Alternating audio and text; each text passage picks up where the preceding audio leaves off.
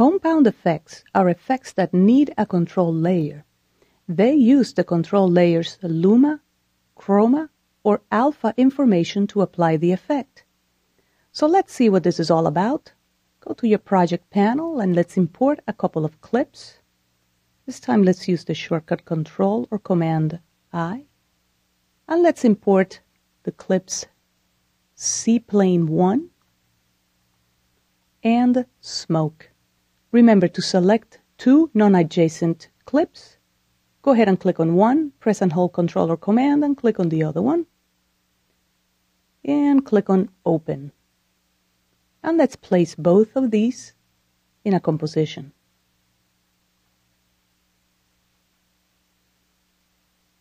And let me zoom in a little bit. There you go. Perfect.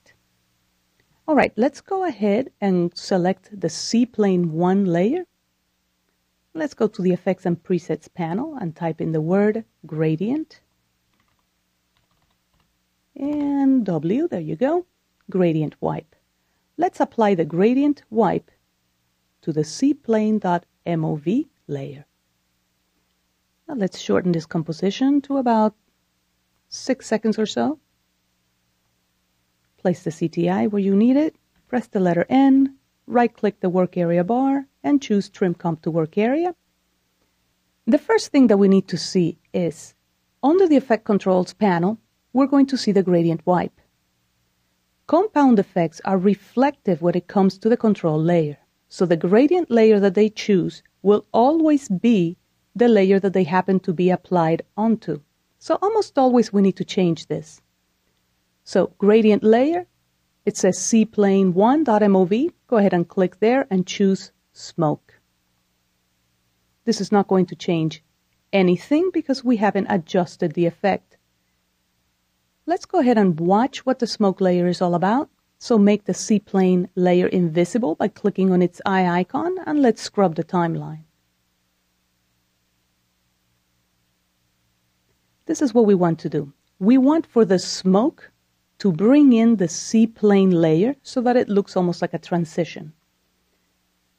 So at this point, the smoke should have brought in a good part of the plane layer. So let's just leave the CTI right there and let's make the C-plane layer visible again.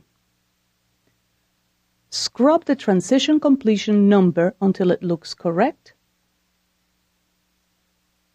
Something like that. And now the transition softness as well. Let's give it a little bit higher number actually. And that's about it. Press 0 on your numeric keypad to preview.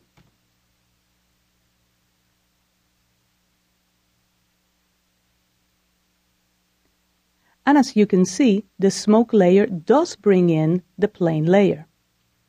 The good thing about this is that the smoke layer doesn't even need to be visible. So if I go ahead and click on the eye icon for the smoke layer, what I have here is transparency. So I can actually key this on top of anything. I can use it for a transition so that I can go from the plane to another plane or whatever I need to. Most of these effects will give you a gradient placement. In other words, they can stretch the control layer to fit, they can center it or tile it. Stretching it to fit means that the effect will temporarily resize the control layer to the dimensions of the layer that has the effect. If this is not selected, the native size of the control layer will be selected.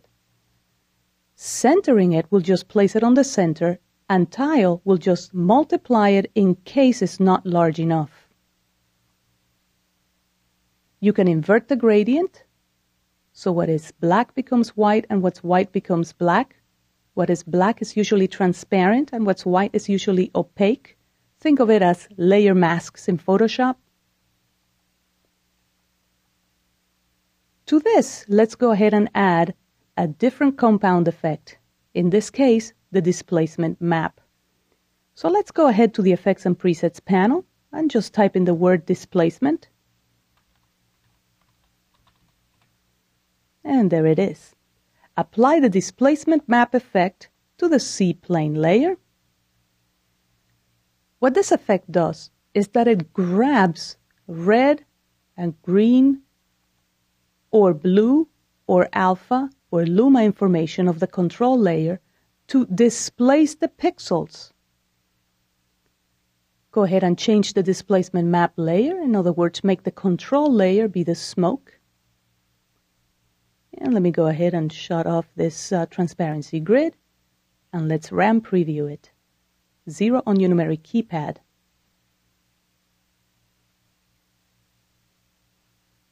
As you can see, the pixels of the plane are being distorted by the information on the smoke layer.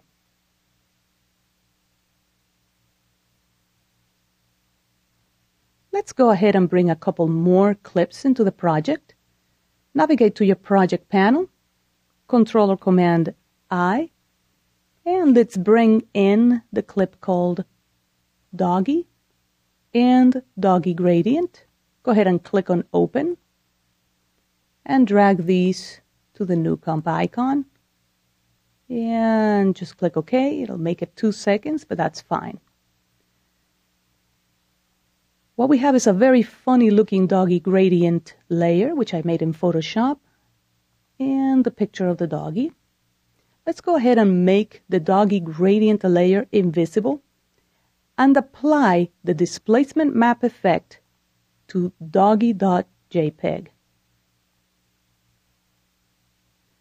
Make the control layer the doggy gradient, and this is what happens if you just slightly keyframe these numbers.